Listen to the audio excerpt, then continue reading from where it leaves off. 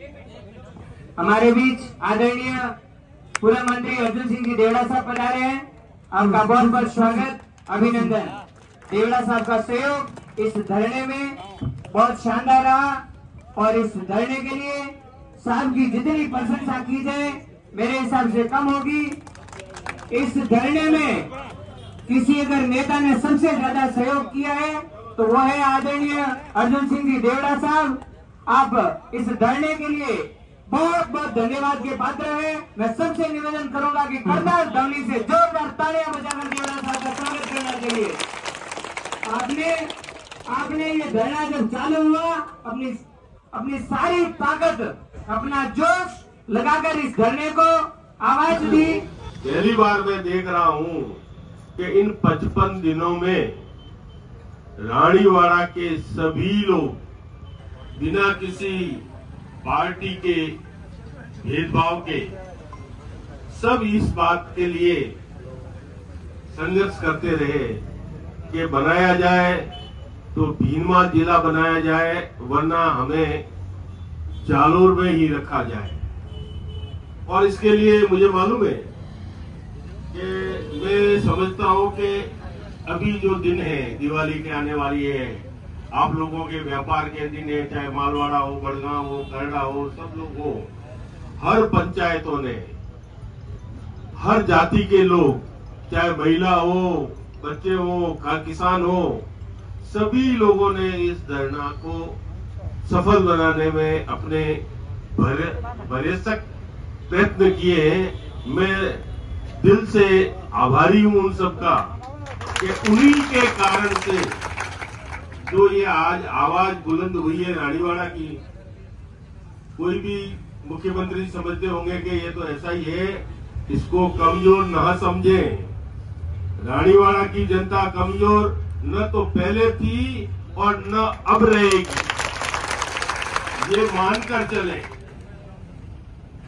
हमने शांतिपूर्ण तरीके से ये बात सरकार के सामने रखने की कोशिश करी। कि हमें सांचोर से कतई ऐतराज नहीं है। सांचोर जिला बनाए, हमें कोई ऐतराज नहीं है। हमें नहीं ये मांग करी थी कि हमें सांचोर में रहना है, न बागोड़ा वालों ने भीनमाल वालों ने मांग करी थी, लेकिन हमें ज़बरदस्ती सांचोर में डाला गया, जहाँ हम रहना नहीं चाह रहे।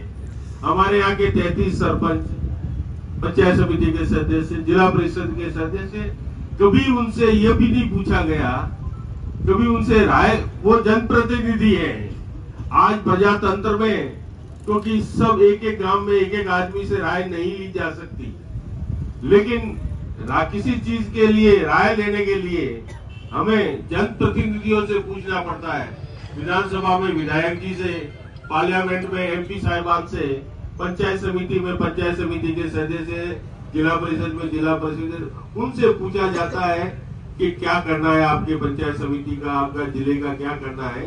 लेकिन हमारे इन जो भी जनप्रतिनिधि हमने चुन के भेजे, उनमें से किसी एक से भी नहीं पूछा गया कि क्या आप लोगों की इच्छा है। सांचोर में हम आपको रखना चाहते हैं। हमारे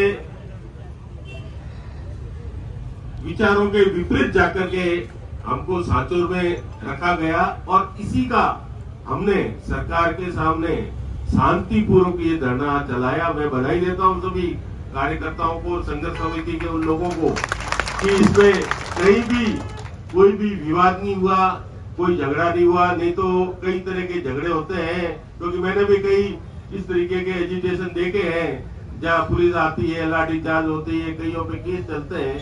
लेकिन हमने हमारी जो मांग रखी है, वो बिल्कुल सही और स्पष्ट रखी है कि हमें आपसे एक पैसा भी खर्च नहीं करना। आप अगर भीजवाल को नहीं बनाते कोई दिक्कत नहीं है। जालोर पे तो आपको कोई खर्च करने का एक पैसा भी नहीं है। उसको तो हमको एजीटी जालोर रख दें। हम कब बना कर रहे हैं? लेकिन शायद राजकाज का कुछ ऐसा ही कारण है कि पहले कहावत कही गई है। अनिति से जात है। राज, तेज और तप। कोई भी अनिति करता है ना